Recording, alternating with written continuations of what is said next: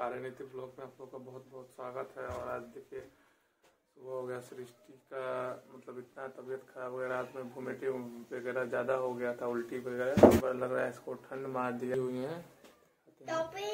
सृष्टि? देखिए बहुत ज़्यादा तबीयत खराब हो गया इनका।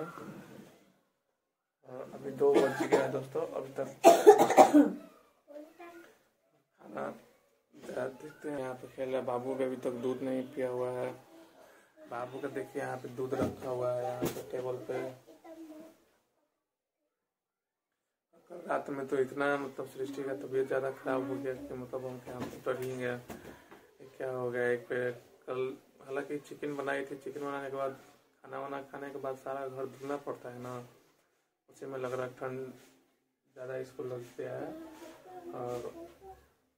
रात में मैंने करीब तीन चार बजे तक आग जलाकर इनको मतलब आग से सिखवाया।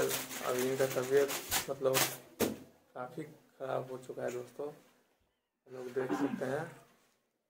और बाबू मेरा देखिए अभी तक कुछ खाया नहीं है।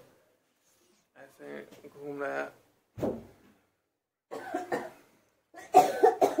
देखिए खांसी भी हो गया है। देखिए, यहाँ पे सृष्टि सोई हुई है दोस्तों। इनका बहुत ज़्यादा तबीयत खराब हो गया ठंड के कारण।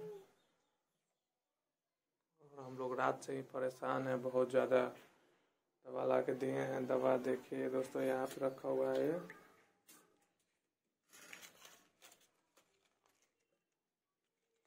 दवा तो लाए हैं अभी।